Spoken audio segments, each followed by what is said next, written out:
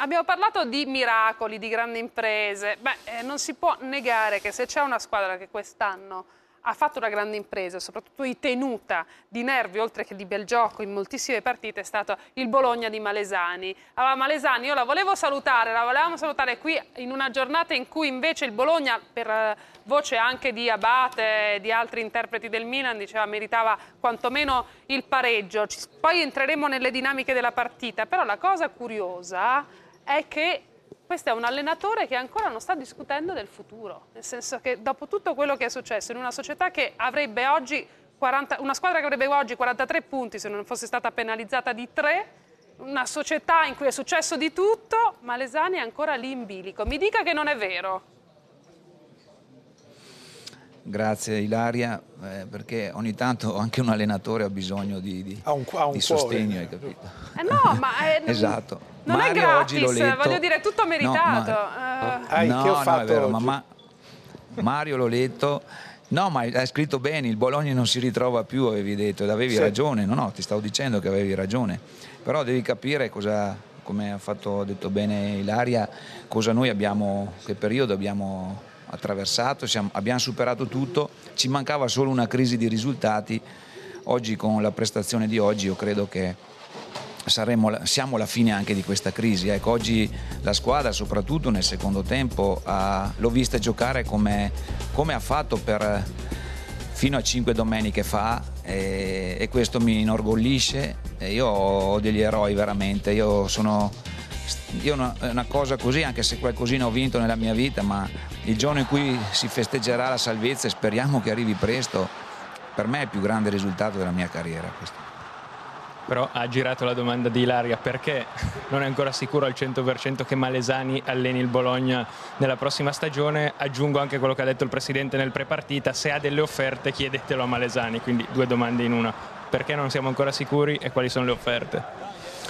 No, guarda, adesso siamo a un punto importante. Mm, si sono susseguiti 4-5 presidenti ed ogni volta eh. tu sai benissimo che è, è determinante eh, entrare in sintonia, essere sulla stessa lunghezza d'onda. Con questa eh, nuova diciamo, dirigenza, presidente e vicepresidente, dico la verità come sempre, non ci siamo capiti subito, ma adesso invece siamo in, molto in sintonia, mi ha fatto piacere il colloquio che ho avuto venerdì col Presidente che mi ha, eh, mi ha dato forza, eh, ci siamo stretti la mano, abbiamo detto adesso noi dobbiamo salvarci, andiamo insieme perché eh, c'era chi anche mi voleva togliere questa soddisfazione, perché comunque gli ho detto Presidente, anche se l'allena lei Bologna vedrà che si salva da qui in poi, quello le posso assicurare però qualcuno voleva togliermi anche questa soddisfazione, invece io ho apprezzato molto che il Presidente non me la voglia togliere. No, ma questa e, è follia però, qui... scusate. No, ma scusi se intervengo, eh, ma... ma qualcuno, qualcuno però? Eh, quelli che, che, scrivono, quelli che continuano a Bologna a dire che io eh, sono, sono pronte le valigie ogni giorno, scrivono cose insensate secondo me, però io le accetto perché ho i capelli bianchi e le accetto, capisci? E Bologna è così, è strana eh, io ero un fenomeno, adesso sono diventato un asino. Ma non per la società, però accetto... no, però... non per qualcuno no, no, all'interno della società. Assolutamente, mm, infatti okay, no. eh, a me interessa quello che pensa la società, quel presidente ci siamo stretti la mano venerdì e non a caso, e non a caso nel momento in cui tu entri in sintonia, subito dopo guarda caso che prestazione che fa il Bologna.